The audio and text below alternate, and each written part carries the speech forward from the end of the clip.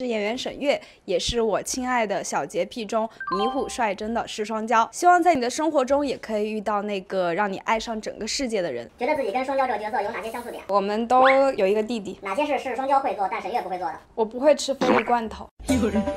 啊，真香！哎呀，看过之前刘宇豪的作品吗？对他的最初印象是谁啊？看过一些精彩的 cut，对他的印象就是 亚洲吻王。说三个理想男友的标准，就是帅一点的、温柔一点的、有趣一点的。平时会磕 CP 吗？磕，但我知道我的 CP 已经毙了。没踏入娱乐圈之前就很喜欢摄影，喜欢哪种风格的作品呢？就随意一点的、有趣一点的，好像我的男朋友标准。来网易 Lofter 写下你心中的浪漫故事吧。